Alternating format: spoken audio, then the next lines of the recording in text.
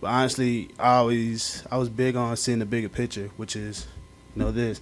And you know, every night I used to just think about all the times that, you know, like just thinking about you know making it to the next level. You know, having an opportunity, you know, to you know, take care of my family. It was always that kept me motivated. You know, kept me from, you know, in a sense going insane. Knowing that you know my story has you know reached a lot of people and they, you know, in a sense been telling me you know that I, I'm inspiring to them. So just knowing all I've been through to get here, you know, I've always, you know, been, you know, grateful for everything. You know, whether, you know, whether it's, you know, they give me a, a shirt, a, shirt and some shorts. Like, you know, when I was in JUCO, we never got in there, so you know, I'm just like, oh, I'm, I'm just happy to get that. So it's just, I, all it did was teach me just to be grateful. You know, you never know, you know, where life will take you.